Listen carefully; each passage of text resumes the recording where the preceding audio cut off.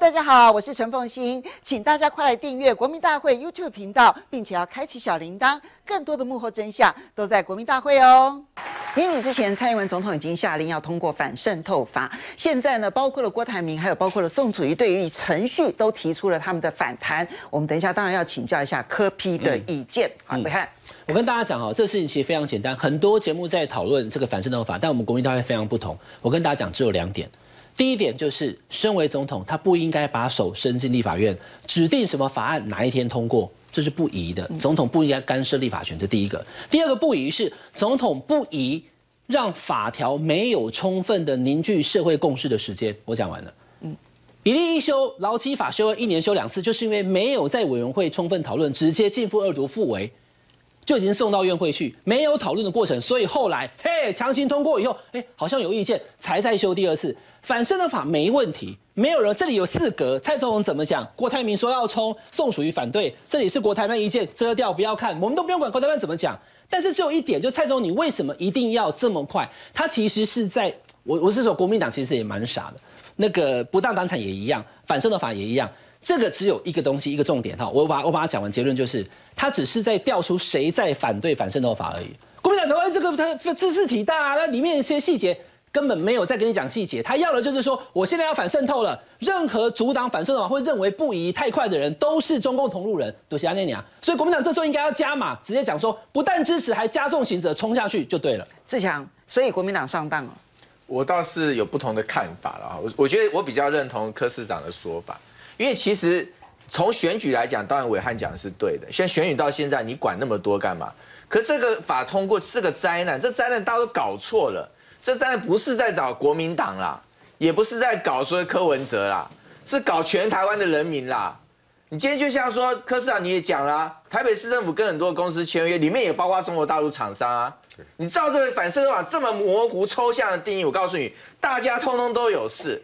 所以反渗透法的严重性是超过其他今年发生很多的事情。一旦它通过之后，我告诉你，变成是到底你被渗透没被渗透，谁说了算？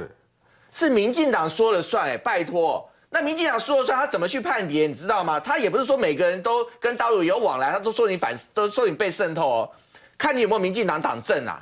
过去不就这么这么多的事情？民进党里面也有很多在大陆做生意的啊，通通都没事啊。可是只要有。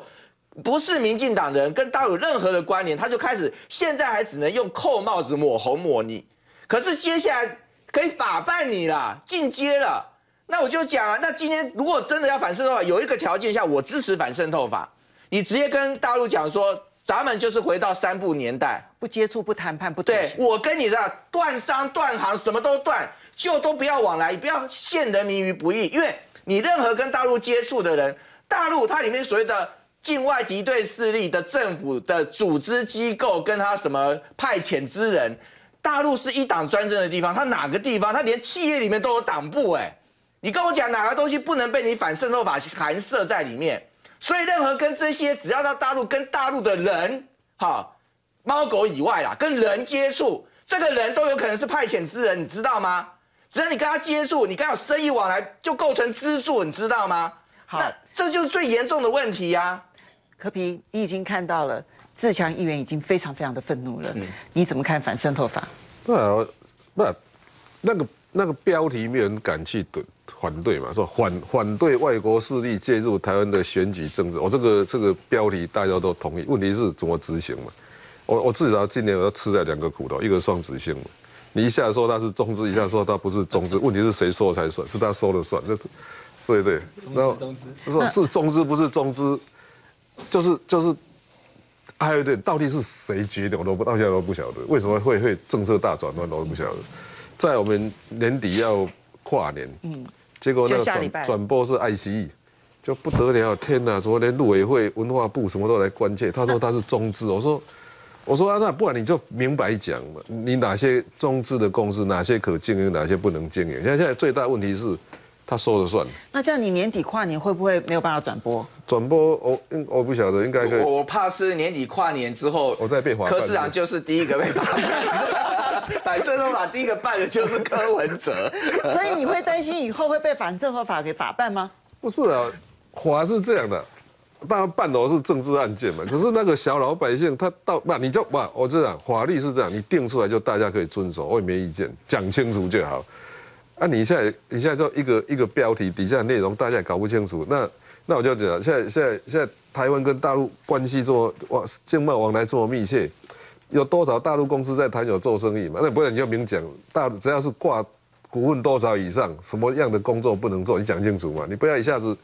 像爱奇艺这个说，哎，他是中资，要这个啊这个个不要说我是第一个被划办的。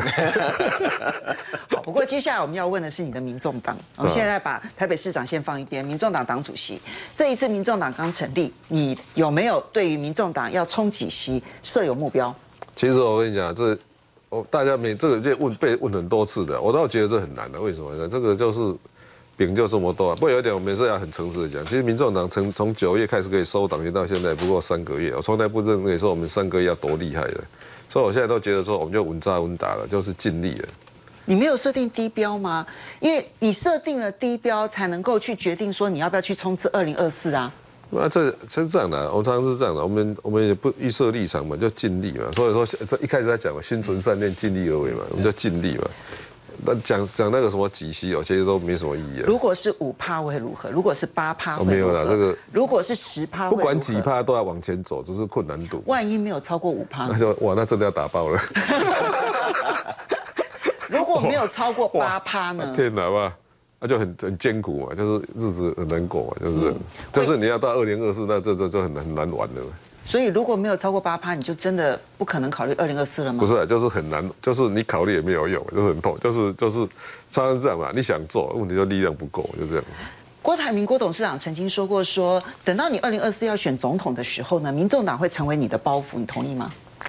这是这样的，这个这个我最近在读那个《三国演义》的，那个诸葛亮为什么不敢照魏延的意见走子午道直取长安呢？要要绕龙溪阵，我我还慢慢就懂那个道理，就是说。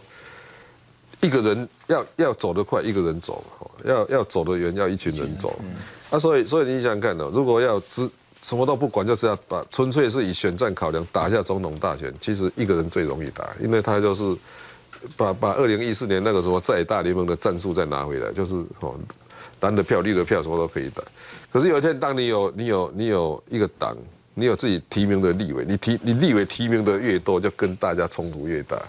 那种那种叫吸票的打法就越来越困难了，所以郭台铭讲那也对了，就是说你你如果纯粹是选总统的话，那个党会变成你一个一个。那既然如此，你为什么要成立政党呢？那就是那一句话，要走得快一个人走嘛，要走得远要一群人走嘛。嗯，不过现在看起来，在台北市长的这一个任期之内呢，最新的民调在六都市长当中呢，柯市长吊车尾。